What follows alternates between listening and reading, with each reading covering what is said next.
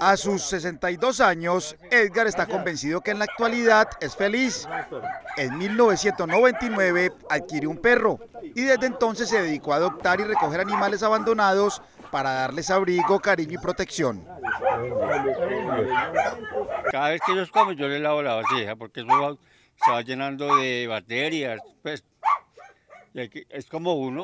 En su humilde vivienda, ubicada en la zona más alta del sector La Gabriela de la Comuna 13, en límites con el corregimiento de San Cristóbal, organizó un espacio para sus 15 perros. Allí los alimenta, asea y cuida como si fueran sus hijos. Bellita, venga mamá.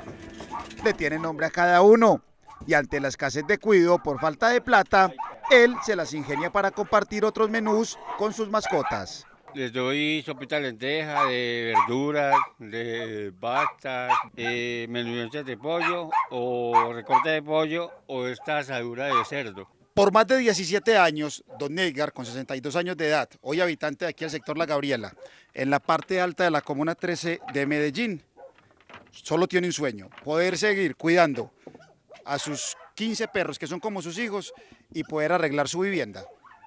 Por eso sueña con un piso digno para evitar que el pantano y el barro deterioren la salud de los caninos. En La Gabriela, aunque muchos vecinos tienen sus propias mascotas, los perros de Edgar ya son famosos. Sí, sí. Ya estoy acostumbrado ya a ello, ya me hace falta. Porque la familia pues, me ha pagado muy mal y las amistades sí que es cierto, entonces me acostumbré ya a ello. Edgar asegura que cuida de sus perros y el medio ambiente de la zona.